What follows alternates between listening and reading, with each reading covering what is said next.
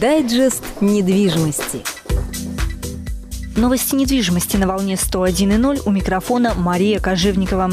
В Кирове стало дороже снимать квартиры. За месяц арендная ставка возросла в среднем на 6%, сообщает портал Рик Киров. Снять однокомнатную квартиру теперь дороже на 630 рублей или на 7,5%.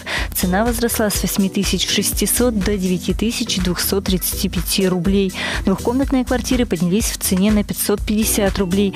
Теперь за месячную аренду такого жилья владельцы просят в среднем по 11 470 рублей. Аренда трехкомнатной квартиры в Кирове оценивается 18 450 рублей, причем за месяц сумма выросла на 1200. Самая дорогая аренда в Кирове 50 тысяч рублей. Именно столько придется заплатить за месяц съема трехкомнатной квартиры в 130 квадратных метров на улице Маклина, 53. Дайджест недвижимости.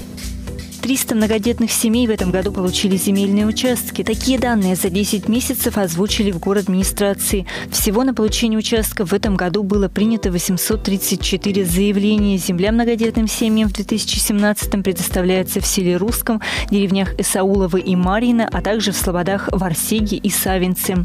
Всего с 2012 года на получение бесплатного земельного участка в администрацию города поступило почти 6 тысяч заявлений. 3 тысячи участков были сформированы сформированы для передачи многодетным семьям.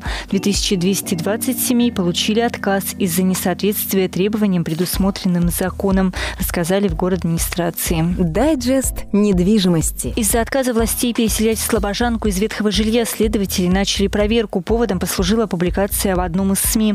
По данным источника, условия для проживания в доме в Слободском являются непригодными. В нем нет отопления, горячей воды, оконных рам со стеклами. При этом местные власти отказывают пенсионерам проверки в переселении, несмотря на имеющиеся судебные решения. При этом чиновники неоднократно получали предупреждение об уголовной ответственности за неисполнение судебного решения. Также в их адрес направлялись предписания прокурора, сообщают в областном следственном управлении. По данному факту сотрудники ведомства начали доследственную проверку. В ее рамках они изучат все обстоятельства произошедшего. На этом все. В студии работала Мария Кожевникова. Дайджест недвижимости.